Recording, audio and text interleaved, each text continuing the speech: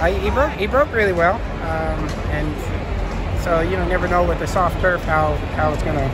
You're up there on the pace, and, and then they, they started pressuring Irad from the outside. And he told me that he decided to take back a little bit. Kind of got a little breather there.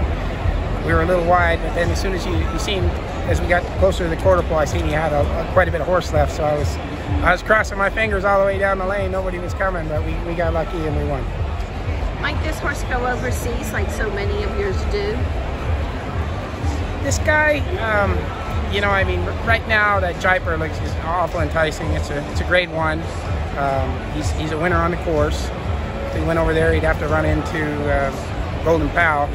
I'm not sure anybody in the world wants to do that right now. I know there'll be several lined up to do it, but I wouldn't I wouldn't want to line any of mine up there. He's doing tremendous, and uh, but this horse ran a huge race today, and I'm really happy that uh, Jackson's gave me a big chance with such a great horse, especially being a homebred. And you think that's the, Jaipur's six furlongs, right? Or is it six and a half? It's six, six. but I, I, would. I mean, you think? Yeah, I don't. I don't think that's going to be a problem. He's getting older, more mature. He settles, um, and uh, he, he's won over there on the course at that distance. So I, I, you know, and Belmont plays a little faster, I think, than this course does. So it'll, it'll let him stretch out a little. I mean, how good is this guy? I mean, he's he's in really good form right now.